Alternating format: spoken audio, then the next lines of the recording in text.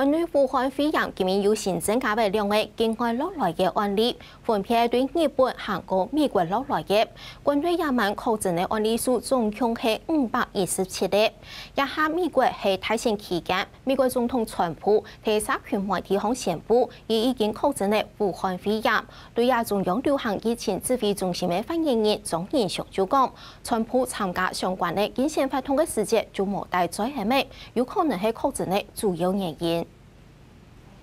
八年半年假提年日，关于新增加两年境外三年嘅案例，按五日六系度美国工作，八年连续八度冬天出现咗少偏到东西造错嘅镜头，九年连续正台湾群亲戚度几家人日期间，连续四又出现造错嘅镜头，安排才间度根本嘅扩展，按五日七系度日本工作，九年十五出现奥利度见有信仰痛，皮革五正上了条各种嘅镜头，度日本冬天本日先群两百，度半年诊断系冷多。个平图式感染，预计到九年三十，正台湾国后都基本的可准。它的核酸检测的 CT 值哦，三十五啦，所以算是蛮高的哦，就是在边缘啊。那我们会认为它的确是在八月，可能是在八月底就已经。就已经开始有这个症状，就是它是属于比呃发病比较久的一个一个状况啊。关于新增加日本、美国境外落嚟嘅问题，美国总统川普未宣布几老几个部长梅兰妮亚都确诊武汉肺炎，因为美国总统台前系东边嘅时节，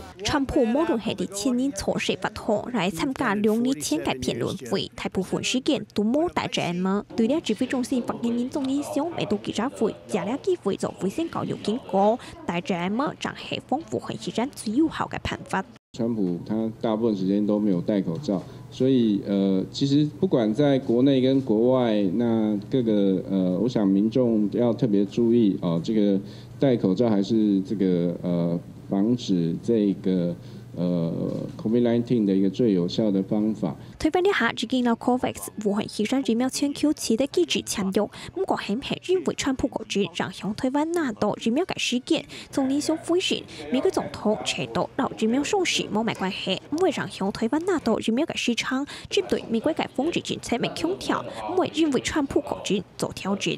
黑新闻的麦卷前日台北报道。